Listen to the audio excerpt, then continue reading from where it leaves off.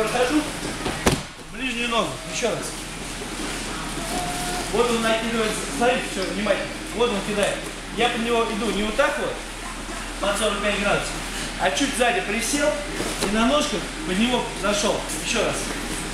Давай, помню, ставим сюда, все ставить, чтобы видеть движение руками. Вот я под него руку пошел, раз, локтем, уперся ему в бедро. И здесь беру захват под пятку. И тащу его не кверху, как многие делают, вот так, а тащу его вниз.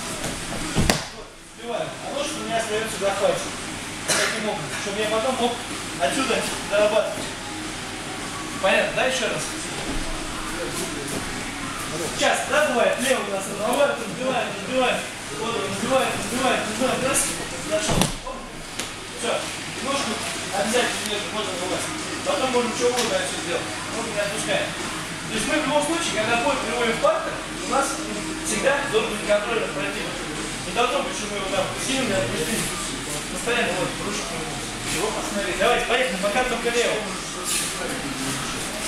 Работает один нож. Если что-то кому-то не ясно, спрашивай. Давай, значит.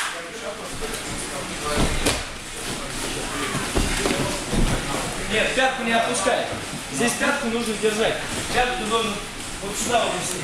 Вот сюда, вот, вот, вот.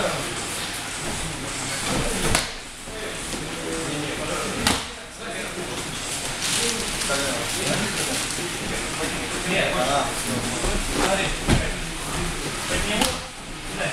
Еще одна, ребят, еще одна просьба. Если вы работаете в парах, запомните, любое задание, когда, если я вам говорю, накидывайте левой в голову, не надо накидывать вот так